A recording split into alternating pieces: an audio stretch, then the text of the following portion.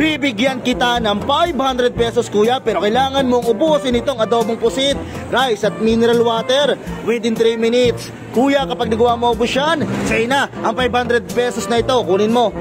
Bago tayo magpatuloy sa video ito mga katropa, kung bago lang kayo dito sa aking page, baka naman. So paano kuya, kakasaka ba sa ating 3 minute cheating challenge? Kaya bang maubos ang pagkain ito nang hindi natatapos ang oras mo? Oo, kakasaw dahil malakas ako kumain. Yon mga katropa, narinig nyo naman na si kuya ay kakasa at malakas daw siya kumain. So tingnan natin. Kaya naman kuya, mag-ready ka na dahil your timer starts now. Sige kuya Lapang. Okay, so mga katropa, binuhusan niya ng sabaw ng uh, adobong pusit.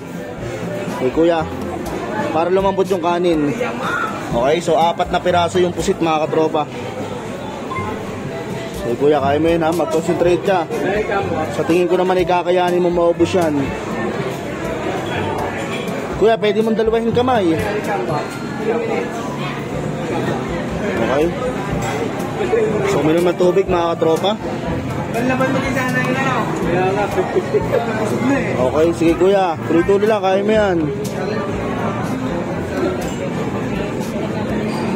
Okay. Okay, so mga katropa, si kuya ay meron pang 2 minutes and 12 seconds para ubusin ang pagkain ito. Okay, so inom ng tubig, panulak.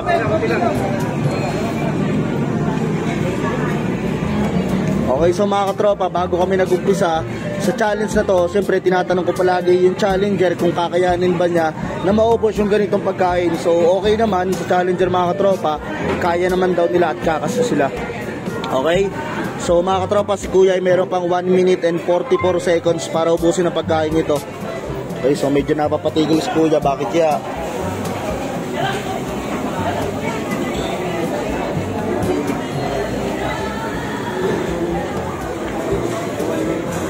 One minute and 28 seconds.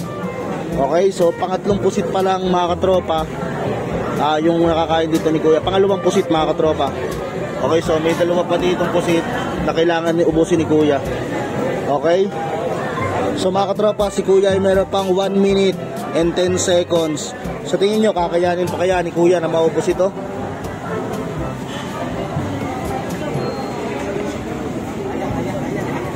Okay, last 1 minute.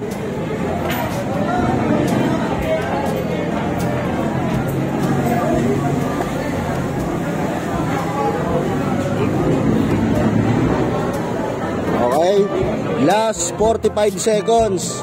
Okay, so mga katropa, paubos na yung rice dito. Okay, bali yung opposite, pangalawa pa lamang yan mga katropa. Okay?